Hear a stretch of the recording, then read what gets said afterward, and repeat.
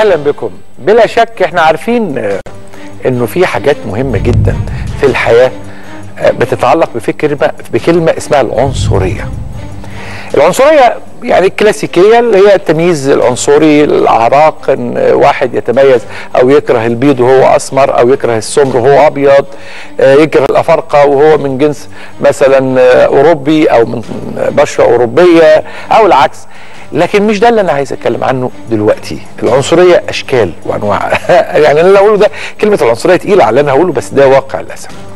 في نوع من العنصرية كوميدي شوية في عالم الطب إن كل دلوقتي متخصص في برانشه أو متخصص في تخصصه عنده نوع من العنصرية تجاه البرانشات التانية. وده بيبان جدا على فكرة في كلام البعض حتى وفي بعض يعني ممن تتيح لهم فرصة الكتابة عندما يكتبون. يعني مثلا تلاقي دكتور متخصص في شيء معين ينظر إلى علم التجميل مثلا على إنه إيه البنات اللي عايزة تنفخ وتشفط وتعمل. طب ما هو ده علم. تنفخ إيه؟ وبنت عندها ضمور في الثدي رايحة تعمل تكبير في الثدي لأن ده عمل لها نوع من الدمار في النفسية. حالتها النفسية مش عارفة تستقيم ابدا وهي شكلها مش أنثى خالص. طبقا للمعايير الطبية ده علم. بنت عندها ديفوهات في جسمها ومضايقاها جدا جدا فراحت عملت شفط دهون. ده ده علم. في قسم اسمه قسم جراحات التجميل في أساتذة كبار جدا جدا جدا وعمالقة طب كبار موجودين في مصر وفي الوطن العربي في العالم. ده هو شغلهم. فلما نقول مش عارف إيه شفط ده, ده ده تقليل من قيمة زملائك من قيمة أساتذتك أو تلامذتك. زملائك في الآخر أنت بتقلل من قيمتهم. تلاقي آه ناس عندها إيمان مثلا في المخ والأعصاب إن هم المفروض لهم أولوية وينظروا للمشاكل أو الأمراض الجلدية على إنها تأتي في المرتبة الثانية لا ده غلط. مفيش حاجة تأتي في المرتبة الثانية في الطب كله مرتبة واحدة. لأنه مرض الجلدي ممكن جدا يكون قاتل وممكن يؤثر على الحياة ويؤدي في النهاية إلى مرض عضوي عنيف جدا. الحساسيه ممكن تكون قاتلة.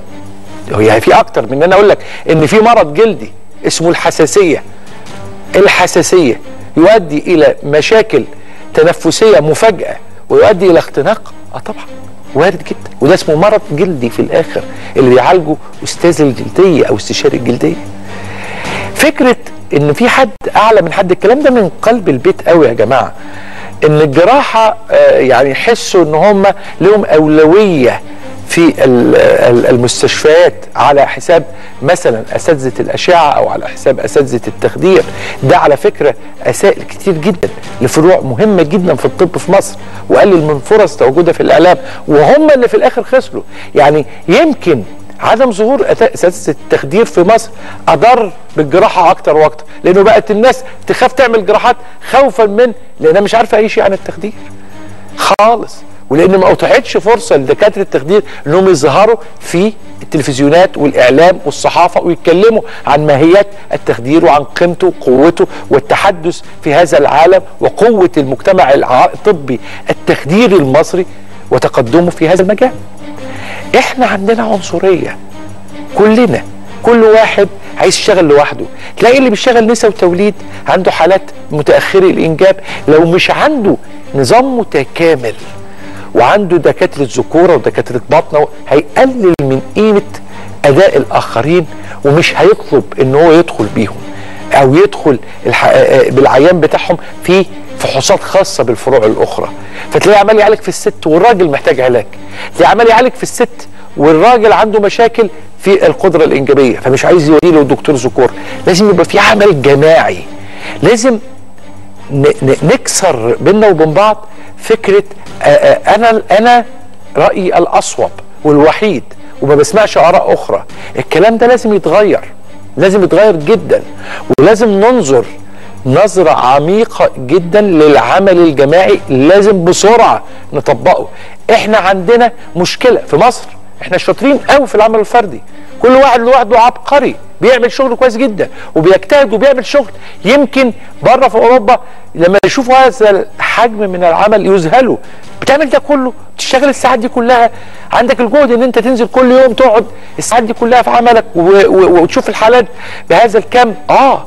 طب ليه ما تشاركش غيرك؟ يبقى في دكتور بيعمل أشعة في دكتور تاني بيعمل آه، ال- الفحص الإكلينيكي في واحد بيعمل حاجة اسمها evaluation في في ممرضة بتاخد ال history أو أو دكتور صغير بياخد ال history أو تاريخ المرض للعيان يبقى في عمل جماعي في أي مؤسسة.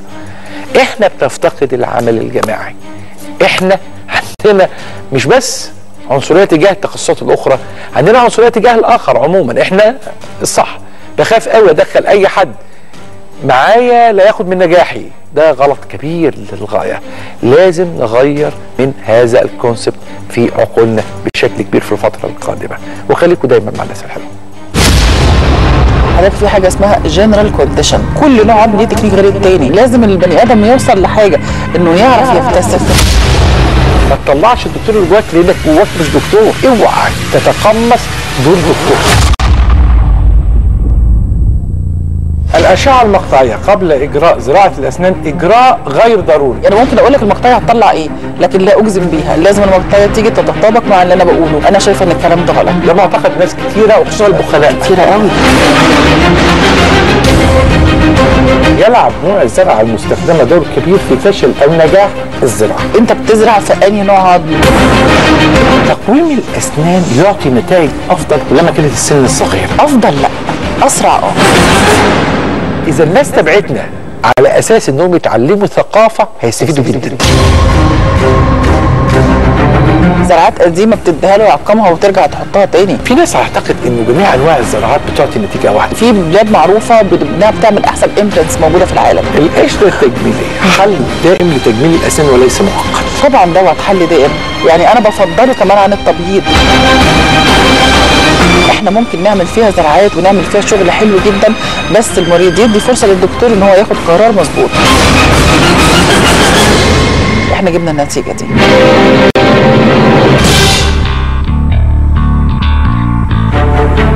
مفيش حاجة دائمة لكن لو إحنا سيبنا من غير جراحة ومن غير خيوط بعد خمس سنين الجلد ده هيبقى دبل لماذا نترك أنفسنا حتى نصل إلى مرحلة مش جيدة مكونات البوتوكس أساسا طبيعية وده اللي خلاه في مرحلة الأمان التام. لازم نبقى عارفين تماما إن الأمان التام يأتي بإن أنت تبقى متخصص وفاهم أنت بتعمل إيه. الأستاذ الدكتور حسام سيد مصطفى استشاري جراحة التجميل عضو الجمعية الأمريكية لجراحة التجميل عضو المنظمة العالمية لجراحة التجميل. المدرب الدولي للخيوط الفرنسية.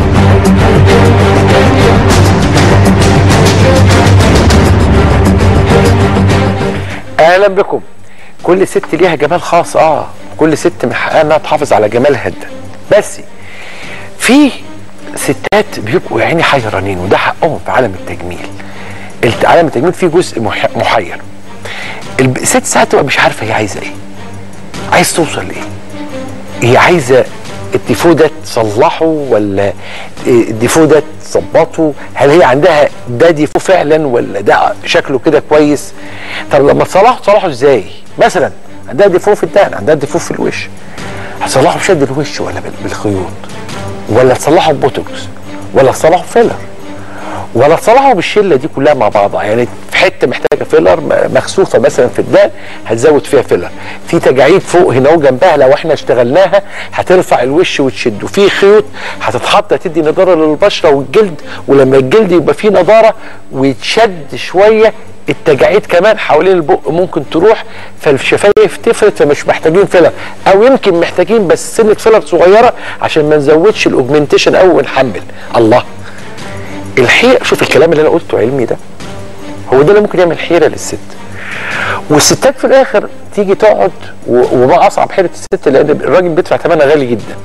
الستات تقعد قدام دكتور التجميل أو جراح التجميل هي نفسها تحيره يعني تصدر له مشاكل وبعدين تصدر له حلول وممكن تصدر له حلول عكس بعضها.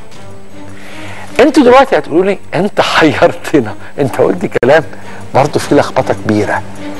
يا ترى الست من الآخر عنوان. إزاي نعرف دماغها عايزة إيه؟ عايزة توصل لإيه؟ ده عنوان مهم جدا مع ضيف مهم جدا. معايا النهارده طبعا ضيفي العزيز صديق والزميل العزيز والسوبر ستار جراحات التجميل الاستاذ الدكتور حسام سيد. أهلا بيك يا دكتور حسام. أهلا يا عيني ازيك إيه رأيك في التتويهه اللي أنا عملتها؟ ده أنا اللي تهت بس هي تقريبا هو ده اللي بيحصل كل يوم في العيادة. آه. يعني هو ده اللي بيحصل كل يوم في العيادة. اللي هي إيه؟ ودنك منين يا جحا لا خالص هي هي بتبقى آه عارف انت ممكن تكون بتفكر وانت رايح آه الشغل في في العيادة وبتفكر في صيانة العربية وبتفكر في بنزين وبتفكر في الأكل وبتفكر آه في لبسك اللي انت هتلبسه بالليل والخروجة بتاعت يوم الخميس. فانت بتبقى جاي لو أنا قلت لك صباح الخير هتقولهم لي كلهم. فأنا كنت عايز أقول لك صباح الخير بس.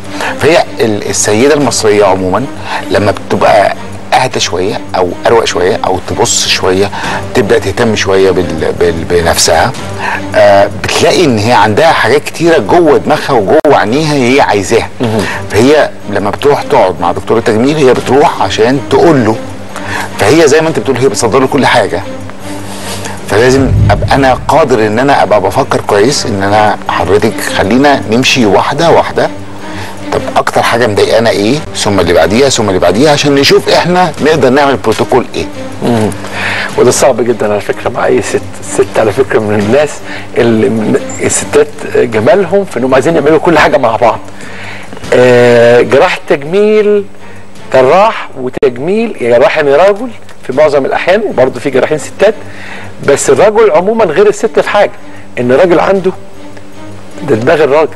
مكعبات كده صناديق يفتح الصندوق ده يطلع اللي فيه وبعدين يرجعه يقفله ويدور على الصندوق اللي بعديه المشكلة اللي بعديه one mind track يعني بالظبط،. يعني زي ما بيقولوا الراجل يعني السيدة من عظمتها إنها تقدر تفكر في في 500 حاجة في نفس وبنفس الطريقة بتديها كل. الاهميه كل واحدة منهم مديها نفس الأهمية. وتقول لك أنا أقدر أعملهم كلهم مع بعض. آه لكن الراجل هو لازم يعمل حاجة في حاجة في حاجة ما يقدرش يعمل اتنين مع بعض. الطب كمان كده. بالظبط. الطب. الطب رجولي شوية في الحتة دي. هو بنى اصله على بعضه. آه. يعني انت ما ما هو الطب برضه كده لازم تعمل حاجة وبعدين حاجة. طيب تعالوا نشوف مع بعض آه، مع رحلة مهمة جدا في عقل المرأة. إحنا النهارده أنا النهارده عنوان الحلقة أنا أنا النهارده هسبح وهفتح عقل المرأة وطبعا لما راجل يحاول يفتح عقل المرأة ويشوفها بتفكر إزاي أكيد هيدهش فأنا هحاول أشوف الستات بيفكروا إزاي. تعالوا نروح في الأبيض والأسود والرمادي أبيض أسود أم رمادي؟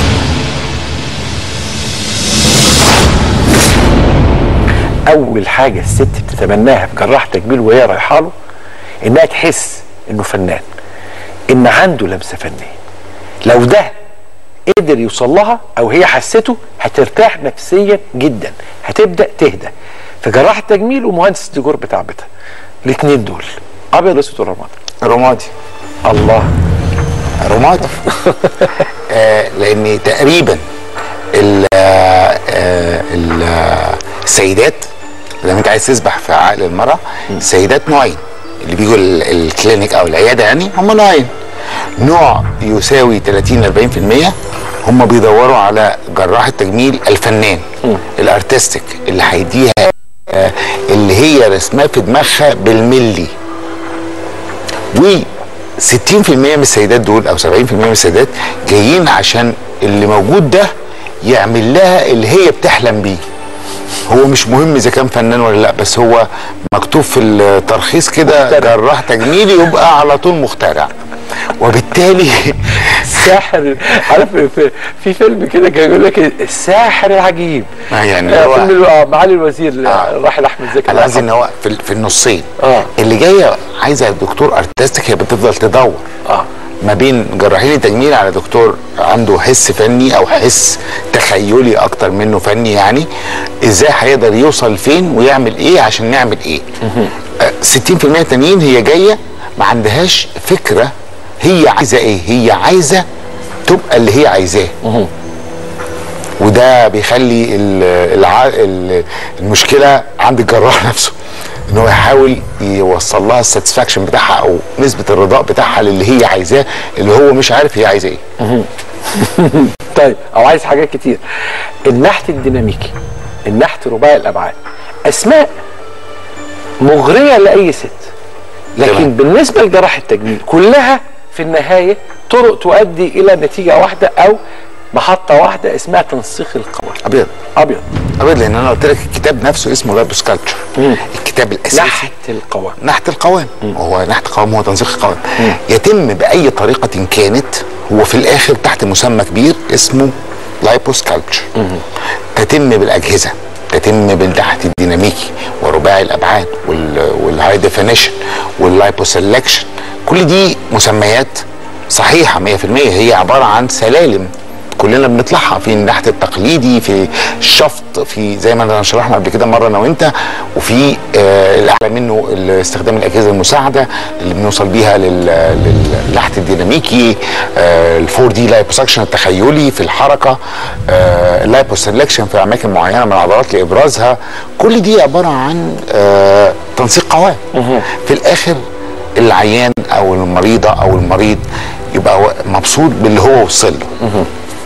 علاج الترهلات الناتجة عن ال- الخسسان أو فقد الوزن الكبير جدا في عمليات آه، آه، تكميم المعدة وتحويل المسار أصبحت من أهم عمليات شد تنسيق القوام أو شد القوام عندكم دلوقتي. أهم دلوقتي زي ما بيقولوا مكسب لشد الجسم. أكيد طبعا. طبعا أكيد. آه كان ال- اللي عمل الموضوع ده حد مهم جدا في البرازيل كان اللي هو ابتدى هذا الموضوع اللي هو total body lift اللي هو Pitanguy's. Pitanguy's دلوقتي بقى مؤسسة كبيرة مش هو اللي بيشتغل بس فعنده مؤسسة كاملة بتشتغل في تنسيق القوام لأن بعد الترهلات لما بتنزل كتير الجلد آه، وخصوصا مع النزول العنيف بيبقى صعب قوي إن إن الجلد ال mimic بتاع الجلد أو ال- القوة بتاعت ال retraction بتاعت الجلد إنها توصل للمراحل الطبيعية. ترجعها تاني إن الجلد ي recoil كله زي ما الجلد بي recoil بعد الولادة. بي recoil بعد الولادة بنسبة 70% في سيدات بيوصل ال recoil معناها إنه يعود مرة أخرى بالظبط. لحالته. عشان كده دايما بيتبقى بعد الولادة بعد بعد الولادات. جزء آه، 20 30% من الجلد فيه ترهل. أيوة. في بعض السيدات في سيدات أخرى ما عندهاش هذا عندها 10% 5% فما بيبانش. لكن هو دي ال recoil. لو لو إحنا نزلنا 50 كيلو أو 60 كيلو ال recoil ده بيبقى عنيف شوية. خصوصا لو هي كمان معتمدة على آه، العملية نفسها ما بقتش معتمدة على إنها تلعب معاها رياضة وتزود تدفق الدم في الأنسجة عشان تخلي ال- الج- الجلد يتحسن أكتر. فبالتالي آه، هتبقى عندها مشكلة في الجلد فإحنا بنعرف نعمل هذا الكلام بالبروتوكول اللي اتعمل من حوالي 8 سنين 9 سنين اللي هو بتاع Pitanguy's اللي هو تطور مع تطورات الأساتذة والدكاترة بتاعتنا وبتاعت بره ليها شكل معين والتنسيق القوام بيها وخصوصا في ال total body lift أو إعادة الهيكلة دي كلها. كتير من الشباب دلوقتي وبرضه بعض البنات بتلجأ إلى كمان رسم العضلات بعد شد الجلد. 6 packs يتعمل لهم 6 packs بقت ناجحة قوي الحكاية دي. أكيد. بص هو أكيد بس مش مش بعد شد الجلد. إحنا يعني هو ده بيتعمل مع شفط الدهون أنا قصدي تنسيق- شفط الدهون الحقيقي آه تنسيق القوام وشفط الدهون نقدر نعمل فيه آه زي ما بنقول بننحت حوالين شكل العضلة. علشان إحنا بنديكي حافز بنديله حافز إن إحنا بنبرز شكل العضلات اللي إحنا هن... اللي أنت تقدر تلعب عليها بعد كده. دي طريقة. ان أنا برسم الشكل ده. بعد ما برسم الشكل ده أنت لو لعبت أكتر هتبرز الشكل ده بشكل أقوى وأعنف. فاهمني؟ بل بالعكس الدنيا بتبقى شكلها ألطف جدا إن أنا بشيل لك الدهون اللي حوالين العضله بتاعتك بشيلها كويس قوي بحيث لو أنت لعبت عضلتك هتبان بشكل أقوى. لكن هو الشكل الطبيعي ده بعد بعد ست سبعة أشهر هيبقى ده الشكل الطبيعي بتاعي اللي أنا عملته. بس ده شكل آه عضلات مرسومة وليست عضلات كبيرة. معمولة. انت لازم انت اللي تلعب عليها لكن هو من غير ما تلعب هو ده شكلها. بس انت عشان تبقى شكل ده لعب. آه ده لعب شوية. آه ده لعب عشان بس يبرزها كده بالظبط. بس هو عنده هذه التفصيلة. أنا اديت لك التفصيلة. فأنت لازم تبقى جوه الجاكيت نفسه. بت بتعافر عشان انت توصل اللي انت عايزه. هي يا جماعة عملية. انت جاكيت شيك قوي مفيش مشكلة خالص فيه. وجاكيت حلو وكل حاجة. رحت انت جاي عند بس tailor شا- شاطر راح عامل لك تجسيمه كده بقى الجاكيت أشيك 100 مرة. بالظبط. أنت بتعمل هي دي ال Italian cut. تجسيمه آه بالظبط. بتدي له الايه رونق الجاكيت محتاج يتضيق في النص شوية عشان يبان slim fit أقول لك اللي هو ايطاليا ايطاليا فانت لما بترسم العضلات أو بترسم مناطق حوالين العضلات عشان تبرز هذه العضلات أنا بديك هدية. والهدية دي باينة وتقدر وأنت واقف تشوفها والدنيا وأنت قاعد وانت آه، العب عليها بقى تعالى بقى نروح مع بعض لحتة مهمة ومثيرة جدا. أنا متشوق ليها لأن أنا هحط لك قضيه مهمة قوي النهارده. أوكي. وأرجوك ما تبقاش دبلوماسي أرجوك. أوكي؟ متهم والجاني والبريء. جاني متهم أم بريء. من يقوم بنحت الجسم بنحت الجسم في حالي حالات من السمنة المفرطة أو الوزن الزايد ده متهم ولا جاني ولا بريء؟ هو هو يعني هو متهم تماما يعني مش هنقول جاني بس هو متهم. هينحت إيه في سمنة مفرطة؟ بس دول موجودين؟ هينحت إيه في سمنة مفرطة؟ أنا عارف. ده اسمه إيهام. إيهام. آه إن هو يوهم ال أوهام. آه ما هو يعني اللغة العربية عندي قويه فكرة. إسهام. لا إن هو يوهم المريضة. إمتهان. آه لا لا إحنا هنكمل كده الحلقة كلها والله العظيم اشتغال. بالظبط. آه اشتغال. ما هو هو اوهمها إن هو يقدر يعمل هذا. هو في علميا يا جماعة أنا. يعني دي مع مع أساتذتنا يعني وسمعت منهم إنه في بعض الأوزان السيدة شوية بنعمل لهم شفط دهون عشان ده يدفعها خطوة للأمام. ده شيء مختلف. ما هو ده ده اسمه شفط دهون. آه. ده شفط دهون شفت انت قلت آه إيه ده اسمه شفط. دهون آه. ما اسموش آه تقليل وزن. لا ما اسموش نحت قوام آه. ما اسموش يعني أنا آسف. تظبيط القوام. آه يعني ما, ما تقنعش ما تقنعش حد عنده overweight زيادة. بدل ما يعمل حاجة كويسة في عمليات ال bariatric ويستفيد مع دكاترة ال bariatric مع. دكاترة السمنه المفرطه ال bariatric هي جراحات السمنه المفرطه بالظبط. آه أنا ممكن أعمل شفط لحد عنده overweight مثلا عنده مشكلة عنيفة جدا في دراعه. فأنا هشيل جزء من الدهون في الدراع عشان تبقى المشكلة أقل. لكن ماليش دعوة بالجسم. طيب مين اللي اللي يدي آه، أولوية أو بمعنى صح superiority أو تفوق أو يتحيز لجهاز على على حساب بقية الأجهزة من Vaser أو ليزر أو liposuction traditional هو شايف إنه الليزر وال Vaser عمال بقى يتكلم عنهم على إن هم دول شيء مختلف وحاجة عظيمة جدا والتانيين دول أونطة. أو بمعنى أصح يعني ده الصاروخ ودو ودي العجلة. ده متهم ولا جاني ولا بريء؟ لا هو بريء. آه. لو لو دارس يبقى بريء لو فاهم يبقى بريء. بمعنى زي ما أنا قلت لك قبل كده أيمن انت انت هي هي درجات بنطلعها سلالم بنطلعها. إحنا بنشتغل traditional liposuction بقالنا من آه، يعني من سنة 96 ال traditional اللي هو التقليدي. التقليدي. باجهزته بالاته الطبيعية. الشفاط الطبيعي. الشفاط الطبيعي آه. والكانيلات الطبيعية اللي إحنا آه. كل ما بتصغر كل ما بيبقى النتائج أحسن ومفيش تروما أو مفيش كتمات أذى أكتر. وهذه الطريقة شغالين بيها وهنفضل شغالين بيها لمدة 200 سنة جايين. إحنا والأجيال كلها اللي جاية. آه مش معقولة كل ما يبقى في جهاز مساعد هيديني النتائج أفضل أقول لا خليني في الطريقة التقليدية. هطلع بالجهاز المساعد وهطلع بالجهاز الأعلى وهطلع بالجهاز اسمه جهاز الاكبر مساعد برافو آه، عليك. يعني هو جهاز مساعد. هو هو ده بيديك نتيجة أحسن. بس بيعتمد عليك أنت برضه في الأساس. ما هو في الآخر بس هو ما أنت عشان كده بقول لك بتدرس كويس. فأنت كل ما بتطلع سلالم ما ينفعش تقول لي إن نتيجتي في مع جهاز زي الليزر أو ال liposound النهارده في 2017 زي نتيجتي لما أنا كنت بشتغلها في 2004 بال traditional way لا طبعا. آه النتيجة هناك كانت حلوة. حلوة قوي. زي التلفزيون العادي اللي كان سنة آه 86 و87 كان حلو قوي. اللي هو ال 16 بوصة ده. لكن ل- لما طلع 29 بوصة بقى عظيم. لما طلع LCD بقى هايل. لما طلع ال high definition بقى أعظم. مش معقول أنت هتقولي النهارده إن أنت شايل في مكتبك أو في في أوضة نومك آه تلفزيون 17 بوصة؟ عندي.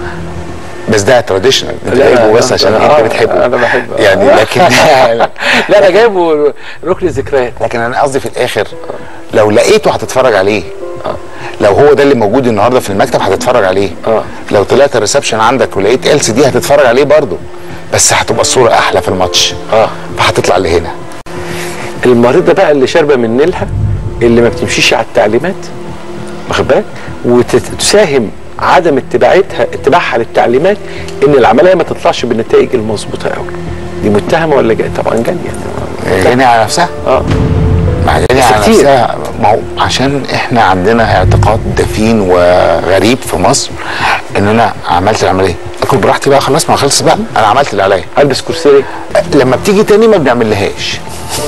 لا ما هو هو ال lifestyle ما اتغيرش. وهي هتبقى ماشية عاملة عندنا وفي نفس المشكلة إن الناس شايفاها إنها لسه تخينة. أو لسه ما فيش تنسيق قوام. يبقى أنا اللي ما وحش. تعالى بقى نروح للوهم والشك واليقين. وهم شك أم يقين؟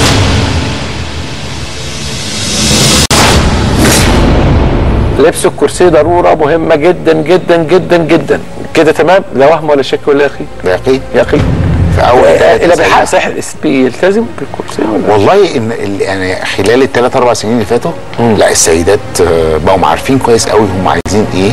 لأن المعلومات الطبية برضو بقت أكثر تطورا ال- الشرح الطبي بقى أكثر السيدات بقت فاهمة أكتر فبقت عارفة إن ده هيحافظ لها على اللي هي تعبت علشانه فبقت بتد... بت... لا بتلبس الكرسي وبيلتزموا عندنا والناس كلها لطيفة. بس هي دي أهم حاجة عايز أقولها إن لما يبقى عندك فريق متابعه كويس للمريضة أو للمرضى آه الموضوع بيبقى أحسن. هما بيحسوا بأهمية اللي بيطلب منهم سواء كان لبس كرسي أو شرب مية أو تقليل ملح فبيتعاملوا مع الموضوع على ان هو موضوع ذو أهمية.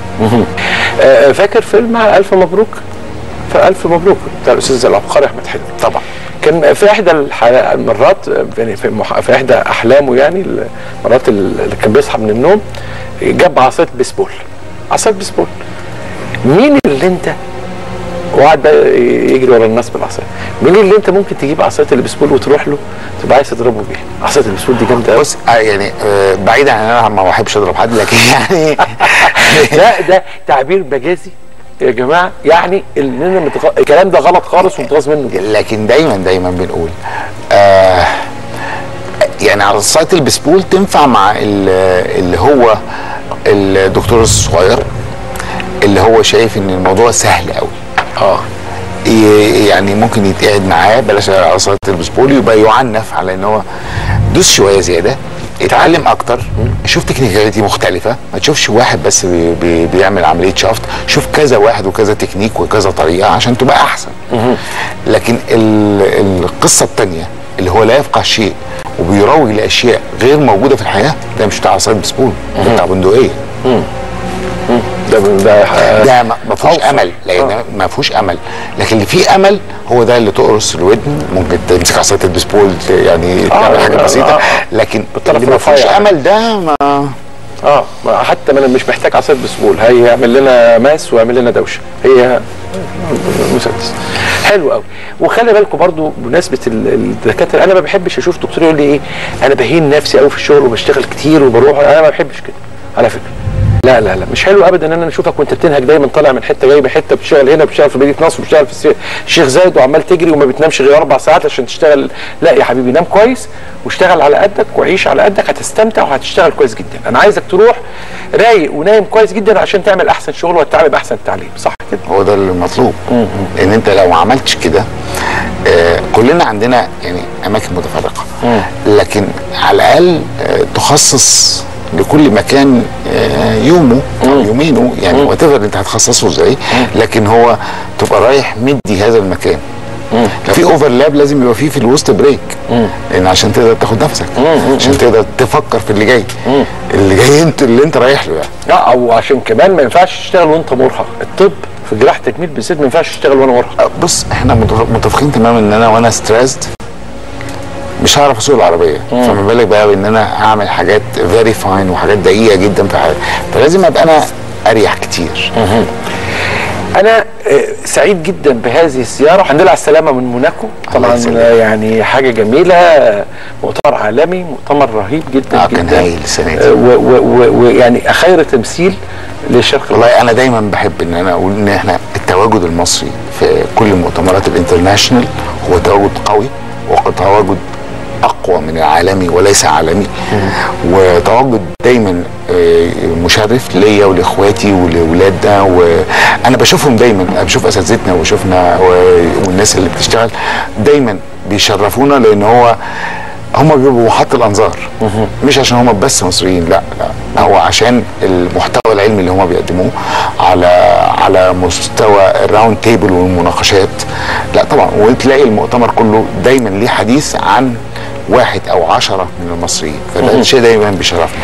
أكتر سعادة قوي لما مؤتمر كبير ومصريين يحققوا فيه تواجد. أنا ببقى شديد السعادة. يعني فخور جدا جدا جدا جدا. أنا مبسوط قوي إن أنت جيت النهارده وشرفتنا. وارهقناك وسهرناك. لأن نحن يخليك. نسجل بعد الساعة الثانية صباحا. شكرا. أستاذ دكتور حسام سيد كامل في الناس الحلوه خليكم دايما على سلامه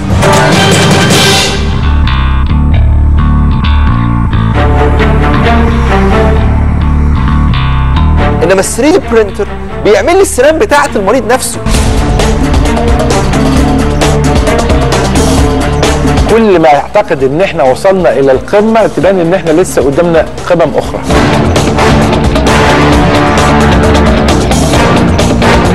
التقويم كان قبل كده لعبه فردية. أنا بلعب لوحدي. طب بقول لكم إيه بقى؟ روح المانيا هاتوا لي الجهاز ده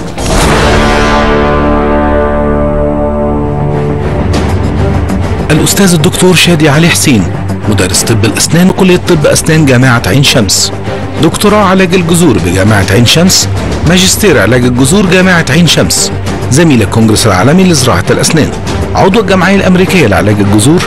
المدرب المعتمد من الجمعية العالمية لطب الأسنان الرقمية.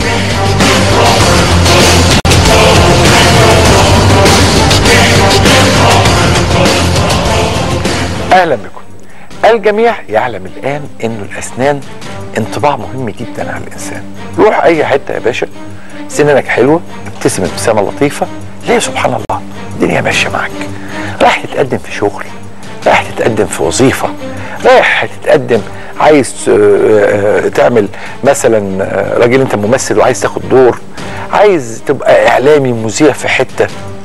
تلاقي الدنيا اتفتحت لك والامور وانت نفسك واثق ومش قلقان وبتتكلم بمنتهى الأريحية بتقدم لواحدة نفس الكلام.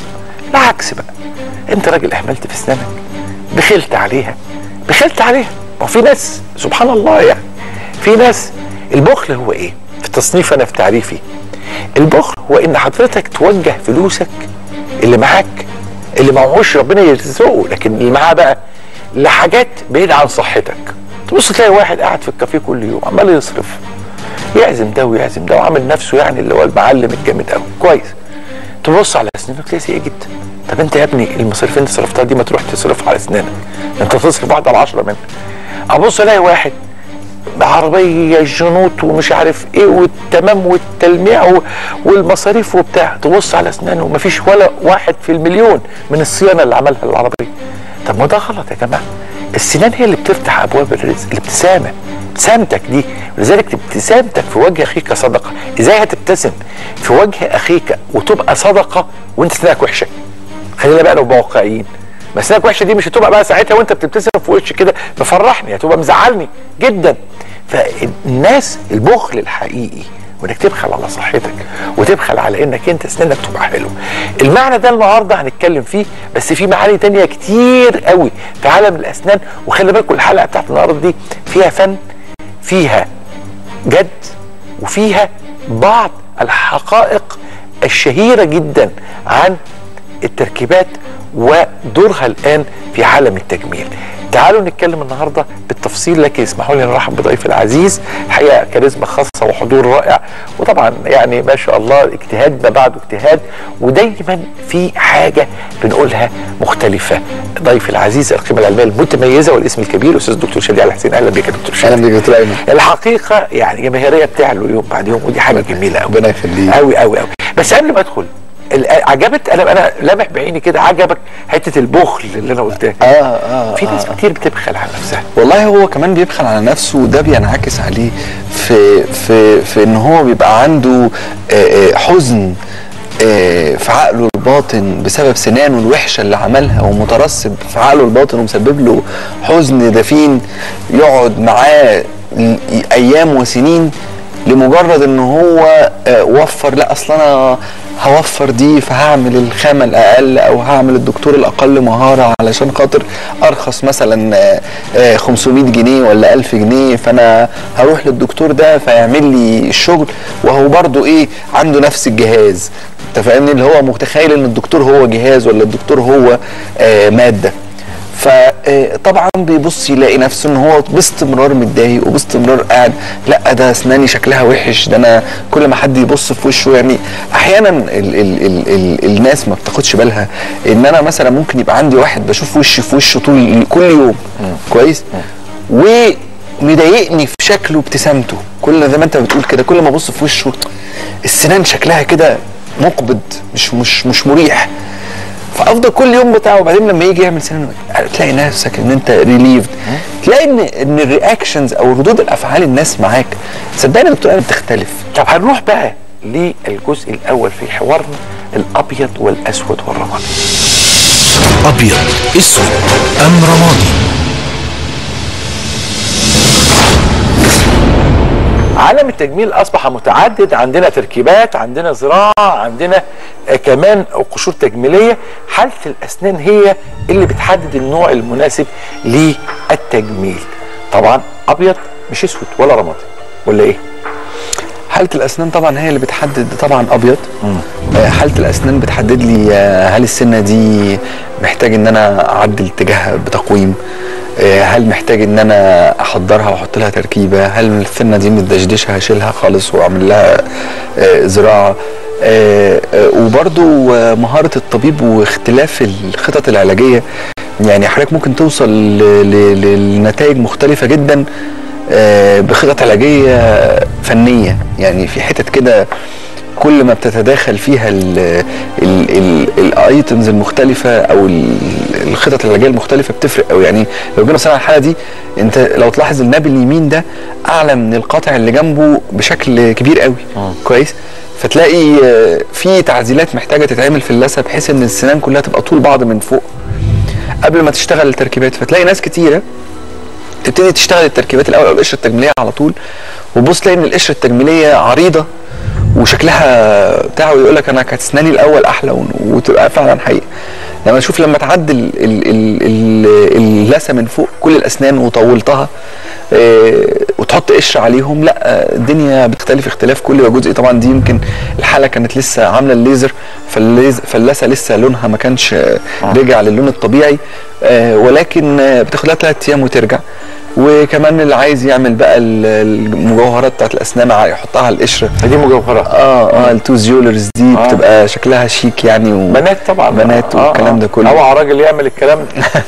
أوعى راجل يحط مش هيبقى كده. ها آه ف- فهي الكلام ده يعني الفن في اختيار الخطة العلاجية. يعني أنت ممكن يعني تستخدم نفس الجهاز وتعمل نفس التحضير وكل حاجة بس من غير ما تعدل اتجاهات اللثه فده ده مهم قوي طيب السؤال القادم سؤال مهم جدا ونقف قدامه شوية. يعني. ابتسامة الإنسان آه آه زي البصمة. كل واحد له ابتسامته الخاصة به هو. ولذلك الابتسامة تحتاج إلى مهارة فنية وقدرة تخيلية وخبرات عند دكتور صانع الابتسامة. الكلام ده أكيد برضو أبيض. يعني واضح إن إحنا لغاية دلوقتي في الأبيض. تمام. أبيض ولا أسود ولا رمادي الأول. تمام أبيض. أبيض تمام. هقف شوية قدام الحتة دي ليه؟ لأنه البنات بتحب تقلد. وفي نفس الوقت كمان الشباب بيحب يستسهل. فيقول يقول لك إيه؟ أنا أروح أي حد يعمل لي ابتسامة زي الابتسامه دي وعلى الكمبيوتر وتمام التمام. الكلام ده يودي في داهية ولا ما يوديش في داهية؟ يؤدي في ده لسبب. يعني هقول لحضرتك على حاجة. أنا في في ناس كتيرة بتشتغل على أسلوب ال standardization يعني إيه ال standardization إن هو أعمل موديل لشكل الأسنان يبقى هو حافظه ويبتدي إن هو يحطه لكل الناس بغض النظر يعني هو مثلا زي ما كنا بنتكلم على الحلقة اللي قبل كده هو مثلا بيشتغل القشرة التجمي... صنع الابتسامة عن طريق إن هو بيعمل قشرة بس. ما ما, فيش حاجة تانية هو ابتسامة يعني قشرة أو ابتسامة يعني طرابيش. فيجي واحد طول أسنانه مناسب واللثه كويسة و... وكله تمام يبتدي إن هو آه يعمل له الابتسامة تطلع. فال... فزميله يشوفه يقول له إيه ده الابتسامه بتاعتك دي حلوة؟ طب أنا عايز أروح أعمل زيك. يجي زميله ده يبقى عنده السنان قصيرة أو شكلها صغير ومغطيها اللثه فيمكن شايف الحالة لما بنرسم ال- ال- البتاع تلاقي إن في سنان عايز اللثة بتاعتها تتعدل وسنان اللثة بتاعتها مش عايز تتعدل. فتيجي تقوم آه، ما تعدلش تطلع الابتسامة شكلها سيء جدا. فاذا الستاندردايزيشن أو إن أنا أعمل اسطمبة واحدة أو طريقة علاج واحدة لجميع المرضى دي مشكلة. يعني بص مثلا حالة زي دي آه، كان عنده محطوط له حشوات بيضة على الأسنان أو قشره معمولة من من الحشو الأبيض. طبعا أنا يعني ما بقتنعش بيها شوية طبعا بتبقى آه، معظم الوقت بتبقى نتائجها بتاخد بعد شوية صغيرين بتروح آه، في الأول بتبقى حلوة بس بعد شوية بتبقى فيها مشاكل. آه، الفك السفلي فيه سنان فليرد عاملين زي المروحة طالعين لبره و- وسنان معوجة ومش عارف إيه والكلام ده كله. اولا أول حاجة أنت محتاج تغير آه، الارتفاعات اللثه في الفك العلوي كويس؟ الحاجة الثانية إن أنت محتاج تغير أشكال الأسنان بتاعت الفك السفلي. أشكالها غريبة جدا. ومحتاج تطول اللثه لتحت شوية علشان تقفل الفراغات المثلثات اللي بين الأسنان في الفك السفلي. فبنقعد نرسم رسم تخيلي للكلام ده؟ بس مش بنرسمه تخيلي بقى. بنرسمه تخيلي الأول الدكتور بيقول هيعمل إيه وبعدين يبتدي يطبق الكلام ده على الكمبيوتر. ويبتدي يعمل تصميم الابتسامة على الكمبيوتر. وبعدين نبتدي بقى إن إحنا نعدل اللثة ونبتدي نعمل ال design ونخرط الطرابيش يمكن دي ال E-max crowns اللي طبعا المشهورة اللي إحنا اتكلمنا عليها من زمان. إحنا دلوقتي بنشتغل زي ما اتفقنا اللي هو ال E-max crowns أو ال- آه، البورسلان الشفاف. فلما تبص على الحالة آه، آه، آه، ال- الأسنان اتظبطت كويس. ال- ال- الرصه آه، التدويرة نفسها بتاعت الأسنان اتظبطت. طولهم لازم يبقى مثالي. آه كل سنه في جزء منها شفاف في جزء منها بتاع في جزء غامق في جزء فاتح. الفراغات اللي تحت تلاقيها قفلت. أنت فاهمني؟ الحاجات اللي كانت فليرد اتعدلت. كويس. كل ده يعني فليرد؟ فليرد يعني عاملين زي آه. يعني مايلين كده منفرجة. منفرجة زي المروحة كده. شوف بقت السنان عاملة إزاي. دي نتيجة إيه؟ إحنا ما ما حركناش الجدر. إنما لعبنا شوية في اللثه. فلما بتلعب في اللثه بتغير الاتجاهات بتبقى السنان ماشية مظبوطة والشكل بتاعها مظبوط واللثه بتبقى آه، آه، اندماجها مع ال... الكفر بيبقى اندماج هايل. بحيث إن هو يديني لثه صحية وبشكل آه ممتاز. شايف ال ال الشكل كان قبل عامل إزاي؟ وبعد عامل إزاي؟ انت ما طولتش السنان لتحت انت طولت السنان لفوق. خلينا نشوف الناس بتفكر إزاي. أنا بحب اسمع كلام الناس ليه لأن كلام الناس في طرح المشكلة من وجهة نظرهم زائد تخوفات هم حاطينها كمقدسات وممكن يكونوا هم كبروها في دماغهم لأنه واضح إن في حاجة جينية بتخلي الناس دايما تتخوف إنها تذهب إلى آه، طبيب الأسنان. ما زالت موجودة في دماغ الناس. لكن بتوع البحث عن أو الناس اللي بتبحث عن تجميل الابتسامة بيبقوا متحمسين غير ال- ال- ال- الباحثين على إخماد الألم أو علاج الأمراض. تعال نشوف مع بعض هي هتقول إيه. أنا اسمي شريان أبو كيلة. أه، بشتغل في مجال الإعلام. مشكلة أسناني تعتبر مشكلتين. أول مشكلة هي مشكلة نفسية.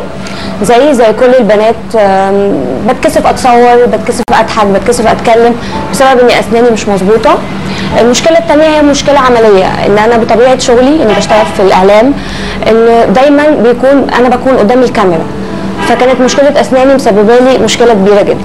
طبعا رحت دكاترة كتير آه، في منهم شخصني وفي منهم قالوا لي حاجات كتير جدا منهم زي التقويم مثلا. كل الحلول دي ما كانتش بتنفع معايا علشان كانت بتاخد وقت طويل.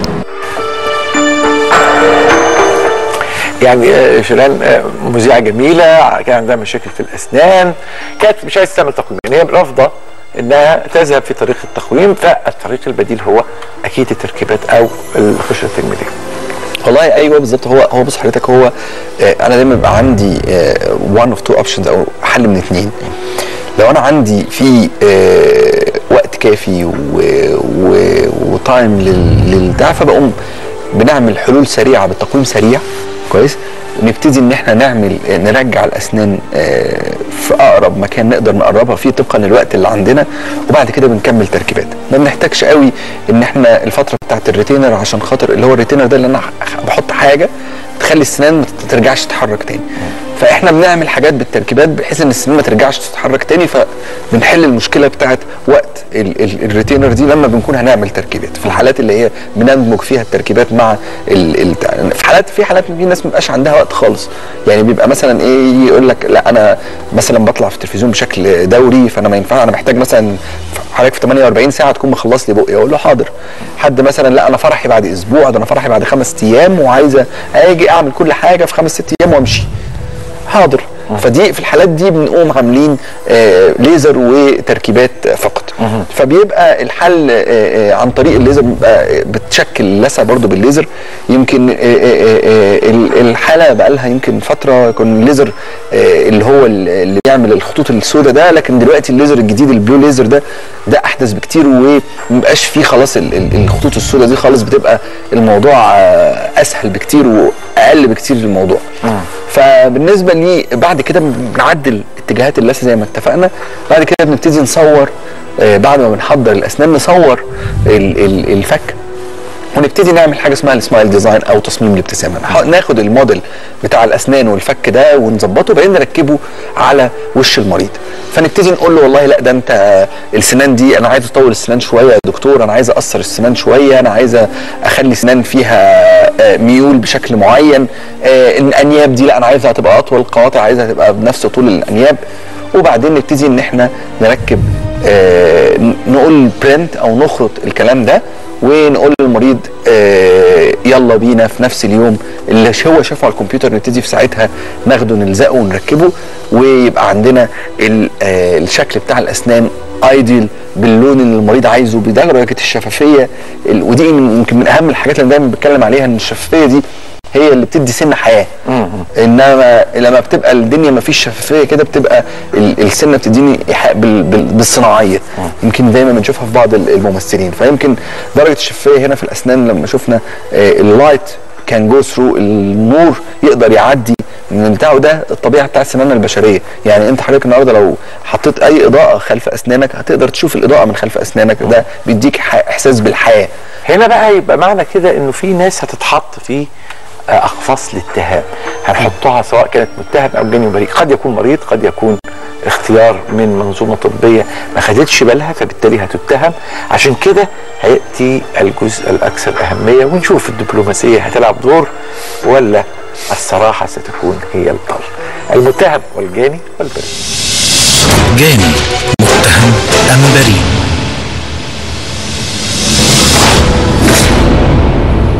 من يوجه كل الحالات أو كثير جدا من الحالات التي يقابلها في عالم التجميل إلى القشرة التجميلية؟ ده متهم ولا جاني ولا بريء هيلبس في الحيطة. يعني جاني وهنلبسه في الحيطة. جاي هيلبس في الحيطة هو طبيعي هيلبس في الحيطة لسبب لأن هو القشرة التجميلية هي بتعالج حاجات معينة. كويس؟ هي بتعالج إيه؟ بتعالج شكل ولون ما بتعالجش اتجاه. يعني لو أنا عندي مشكلة في اتجاه السنة القشرة التجميلية مش هتعدله. يعني مثلا واحد عنده بروز في الأسنان ما ينفعش أحط له قشرة تجميلية. يعني أحط له قشرة تجميلية إمتى؟ لو أنا قدرت أعدل اتجاهات الأسنان بالتقويم الأول. إنما لو ما عدلتش اتجاهات الأسنان بالتقويم وأستخدمتها على كده لا يبقى ده مشكلة. الحاجة الثانية إن القشرة التجميلية يعني مثلا حالة زي دي آه، آه، آه، هعمل لها قشرة تجميلية هعمل لها آه قشرة تجميلية في الفك العلوي وممكن أعملها في كل الفك السفلي ما عدا النبي اللي تحت يمين ده. لو ما عملتش النبي اللي تحت يمين ده ما أقدرش أعمل فوق قشرة تجميلية. ليه؟ لأن هو هيخبط فيها هيطرقعها. فالأسنان اللي مثلا الناس اللي عندهم عضه طيب شوف منظر التحضير بتاع القشرة التجميلية أكنك أساسا مش محضر. يعني الناس اللي بتقول إحنا بناكل من السنان إحنا يعني يمكن من الناس النادرة اللي تجيب السنة وهي متحضرة. فلا يعني أنا ربع ملي مثلا من السنة ولا حاجة يعني. كويس. ف... ف يعني جاي أحد ال... ال... ال... ال... الناس في ال... بيتكلم معايا فبقول له بيقول لي ده بيشيل 2 مللي. قلت له 2 مللي؟ 2 مللي ده كتير جدا. ده أنت شلت نص السنة وإحنا بنشيل ربع مللي يعني. آه. فربع مللي ده اللي هو 300 مايكرون مثلا ونبتدي نحط ال... القشر على الفك العلوي. وبس كنا شرطين على المريض ان إحنا لازم هنعمل الفك السفلي. كويس لأن تخيل لو حضرتك وقفت بالفك العلوي بس على كده وسبت المريضة كده القشرة اللي في ال- القاطع وال- والسنة ال- الناب اليمين دول هيطرقعوا. كويس؟ فلازم نبقى عاملين الفك السفلي نقوم جايين عاملين فيه تحضير برضو قشرة وبس الناب والقطع اليمين دول المعوجين نقوم عاملينهم آه طرابيش آه ال- المهم إن أنا أبقى فاهم إن القشرة دي معمولة not for contact دي معمولة مش يعني حضرتك ممكن تقطم عليها آه أكل شرب بتاع بس ال parafunctional habits لو واحد مثلا بيقرقض ضوافره واحد بيشرب سيجار آه pipe مش عارف إيه الحاجات دي اللي بتبقى فيها سند على حاجة hard في small point في نقطة صغيرة تطرقع القشرة طبعا. فعشان كده القشرة حل هايل جدا جدا جدا لما يبقى عندي الأسنان مرصوصة كويس جدا بس شكلها ولونها مش عاجبني. العضة الأسنان التجميلي التركيبات القشرة التجميلية في أفكار ثابتة عند الناس ممكن من الصعب إن إحنا نشيلها لهم بين يوم وليلة. لكن أنا هروح للجزء الثالث اللي هو الوهم الشك واليقين ونشوف قد إيه الموجود فعلا. وأنا بسألك حتى لو لقينا وهم ولا حاجة هتقولي ده لسه موجود ولا لسه قدامه فترة والى آخره ولا اتشال خلاص؟ بقى وهم من الوهم الاوهام التاريخيه أوكي؟ تمام. الوهم والشك واليقين وهم شك أم يقين؟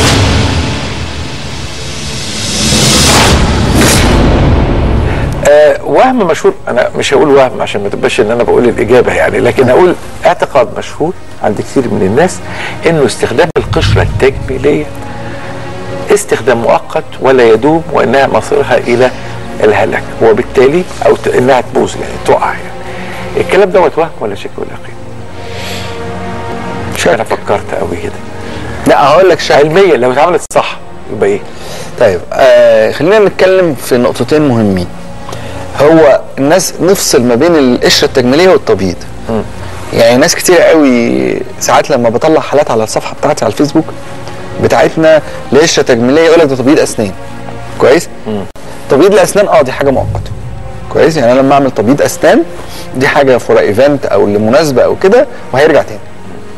القشرة التجميلية اللون مش هيرجع تاني. كويس؟ القشرة التجميلية supposed إن هي بتقعد آه لحد 15 سنة. كويس؟ ما بيجرالهاش حاجة. لو اتعملت صح تقعد أكتر من 15 سنة ما بيجرالهاش حاجة. كويس؟ آه ولكن على حسب استخدام. يعني أنا دلوقتي النهارده ما إحنا القشرة التجميلية ليها limitations يعني إيه؟ يعني ما ينفعش مثلا واحد زي ما أقول لك كده يفتح حاجة معدنية ببقه وما ما ينفعش ي- يقرقض ضوافره وما ينفعش يقزقز لب الحاجات اللي فيها concentration أو تركيز للقوة في نقطة صغيرة هتطرقع القشرة التجميلية أو هتعمل لها مشكلة. لأن هي في الأول وفي الآخر هتبقى رفيعة جدا على سطح السن. الوهم ال- اللي موجود لسه عند الناس إيه؟ إن دي إن أنا هبرد من السنة كمية كبيرة إن أنا بقلل العمر الافتراضي من السنة إن ده حاجة صناعية مش هتبقى أحسن من سنتي الطبيعية لأ هي آه، اختراع هايل ليه دواعيه يعني ولما يكون واحد مثلا عنده المينا فيها مشكلة القشره التجميلية طبعا أحسن من المينا اللي فيها مشكلة. لما يكون واحد الشكل السنان آه، مكعبات كده وشكله في فراغات ما بين الأسنان وشكله مش حلو. أحط له قشره تجميليه هتقفل له الكلام ده. لما يكون واحد عنده كان حصل له تسوس وحاطط حشو أبيض القشره التجميلية أكيد أحسن من الحشو الأبيض.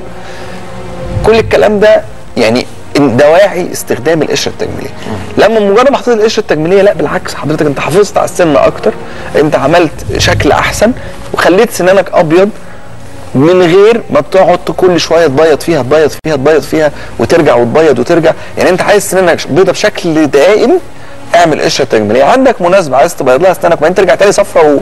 ووحشة خلاص انت حر اعمل تبييض. فدي هنروح نشوف شريهان ال ال الإعلامية أو المذيعه ليها parameters خاصة لأنه هي على طول قدام الشاشة على طول قدام الكاميرا على طول الكاميرا focus close up ابتسامة لازم تكون موجودة لازم أتكلم بحريتي أدي انطباعات.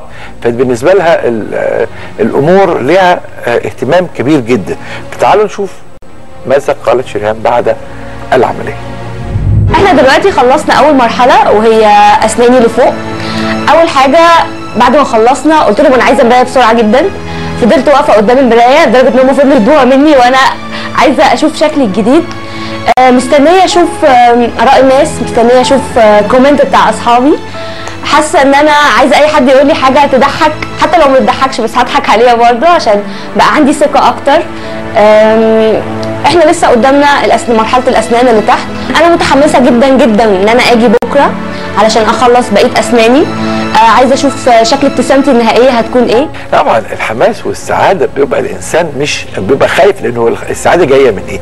من ايجاده شيء جيد. هو كان أساسا متخوف منه لفترات طويلة. تاني كده. طبعا. طبعا. ولا وشوف المنظر الطبيعي بتاع الأسنان.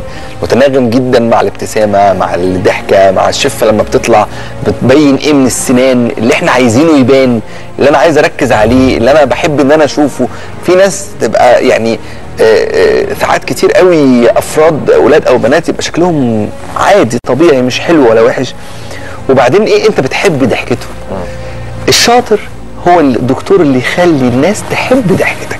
كالعادة متألق وكالعادة بيقول كلام آه، يعني فعلا من قلب الأحداث وبصراحة تامة. يعني النهارده خدنا الصراحة التامة في حوار مهم للغاية. خليكم دايما فاهمين الأسنان باب رزق فاهتموا بباب الرزق ده وارجوكم والبخيل مش اللي ما بيصرفش على الناس اللي ما بيصرفش على نفسه واللي ما بيصرفش على الناس اللي قريبين منه على مراته واولاده كمان يمكن مراتك محتاجة يا أخي عملية تجميل سنانها أولادك ممكن. ما تبخلش. الحاجات دي مهمة قوي ما تضيعش فلوسك في الأونطة. ما تبقاش شخص طيب لدرجة السذاجة. فتضيع فلوسك في كافيه وعلى حساب ال- ال- الصرف على صحتك. صحتك أهم. وبصرف بعد كده في أي حتة زي ما أنت عايز. وخليكم دايما من الناس